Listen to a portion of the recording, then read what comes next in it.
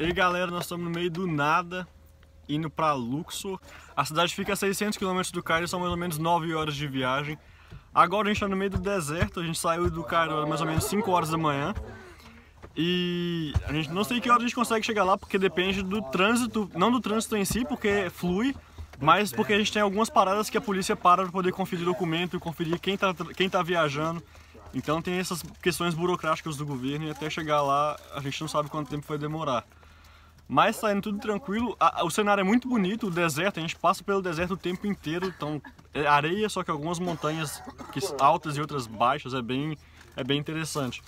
Então vamos ver como é que vai ser. Em Luxor tem bastante templo, uh, né, com, com sarcófagos também e tal. Então tem bastante coisa legal para ver. E vamos lá.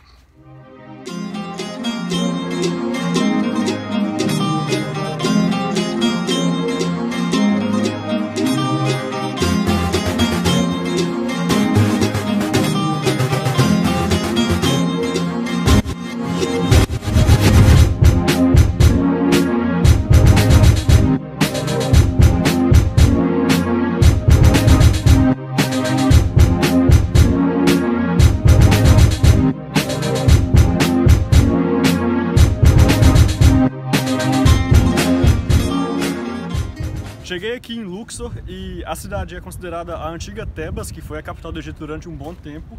Então esse aqui que a gente vai visitar agora é o Karnak Temple e ele é um dos maiores templos do mundo e um dos mais importantes. Então vamos lá.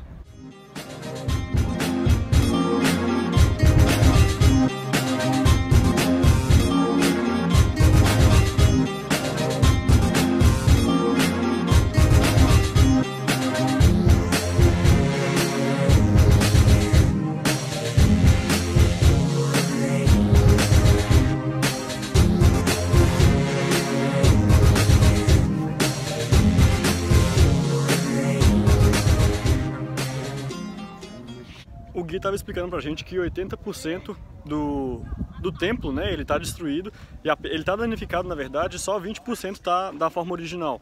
Então vocês vão reparar nas imagens que realmente tem bastante dano, mas tem muita coisa que ainda está de pé.